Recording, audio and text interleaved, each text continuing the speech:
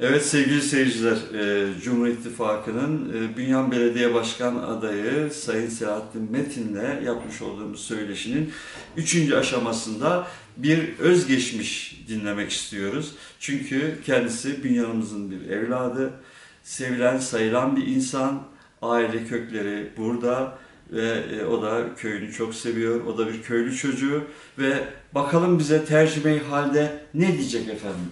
Buyurun başkanım.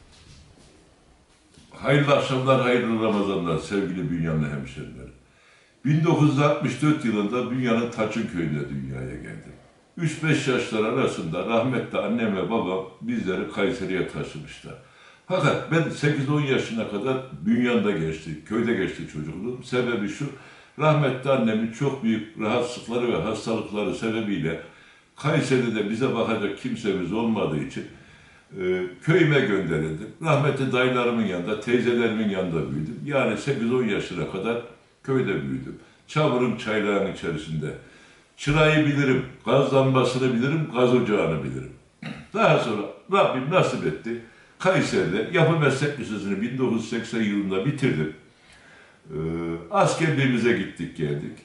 Geldiğimizden sonra 25 yıl Kayseri Milli Eğitim Müdürlüğü'nde görev yaptım memur olarak.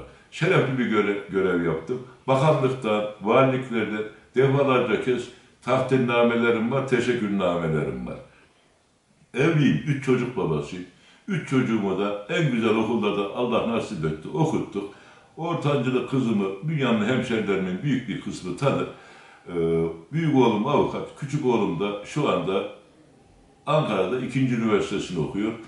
Kızım Burcu Metin, Kayseri Milletvekilimiz Sayın Baki Ersoy Bey'in danışmanıdır. 1997-98 ee, yıllarında Kayseri'de Ülke Ocakları Başkanlığı yaptım. Bünyan'la ilişkilerimi hiç kesmedim. Milli Eğitim'deki görev icabı da Bünyan'da sürekli Bünyanlı vatandaşlarımın ve köylerimin problemleriyle, okul sıkıntılarıyla, öğretmen sıkıntılarıyla, memur sıkıntılarıyla sürekli ilgilendim elhamdülillah. 98 yılından sonra 5-6 yıl Ülke Ocakları Genel Merkezi'nde Türkiye müfettişi olarak görev yaptım. E, nerelere baktım? Doğu ve Güneydoğu'ya özellikle Ülke Ocakları Genel Merkezi'nde görevliydim. O terörün has safhada olduğu dönemlerde çok şükür Cenab-ı Allah'ın korudu, kolladı bugünlere geldik. Cenab-ı Allah nasip etti. Bizlere Cumhur İttifakı'nda Bünyan e, Milliyetçi Hareket Partisi'de kalınca Rabbim nasip etti. Bünyan'dan belediye başkanına adayız. Şunun için adayım arkadaşlar. Ben 60 yaşında bir insanım. Üç çocuğumu okuttum. Çok şükür hiçbir şeyde ihtiyacım yok. Maddi olarak.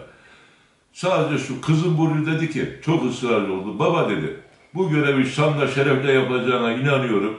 Beş yıl dedi gel dedi şurada görev yap. Bize şanlı bir isim bırak dedi. Ben bunun için adayım. Şanlı ve şerefli bir isim bırakmak için. Dünyanın halkının köklü çözüm problemlerini çözerek onların daimi bir ömür boyu dualarına talibim Allah izin verirse.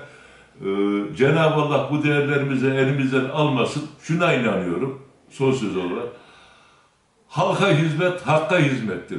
Cenab-ı Allah bizlere çıkmış olduğumuz bu yolda mahcup etmesin. Ben dünyanın halkına sonuna kadar güveniyorum. Onların ben öz evladıyım. Dünyanın hemşerilerim de bana güvensinler. Hepinize Allah'a emanet ediyorum. Teşekkür ediyorum.